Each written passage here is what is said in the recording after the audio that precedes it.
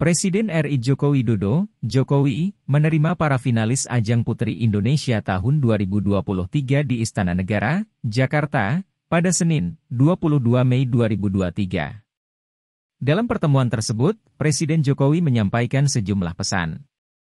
Pertama berkaitan dengan pentingnya peran generasi muda untuk memastikan bonus demografi kita terkonversi dalam 13-15 tahun ke depan menuju Indonesia negara maju, ujar Menteri Pariwisata dan Ekonomi Kreatif, Sandiaga Uno, dalam keterangannya selepas mendampingi Presiden pada pertemuan tersebut.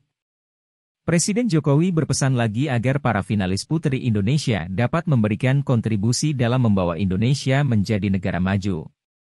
Pesan Bapak Presiden agar para putri Indonesia sebagai bagian dari bonus demografi memberikan kontribusi dan membawa Indonesia menjadi negara maju dengan pendapatan di atas 25.000 dolar per kapita atau GDP per kapita 25.000 dolar ke atas di tahun 2045, jelasnya.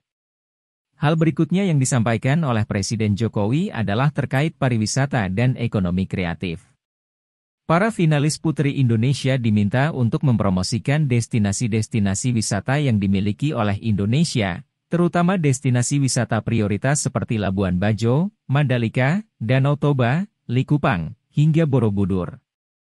Termasuk ada beberapa destinasi yang akan dikembangkan selanjutnya seperti Bangka Belitung, Kepulauan Seribu, Wakatobi, maupun juga Raja Ampat. Sementara itu, Ketua Dewan Penasihat Yayasan Putri Indonesia, Putri Kuswis Nuardani, menambahkan bahwa pihaknya selalu berkomitmen untuk mendorong perempuan Indonesia menjadi sumber daya manusia unggul. Untuk itu, seluruh finalis Ajang Putri Indonesia 2023 akan mendapatkan beasiswa sesuai dengan jenjang dan jurusan yang dikehendakinya. Sumber, Setkap RI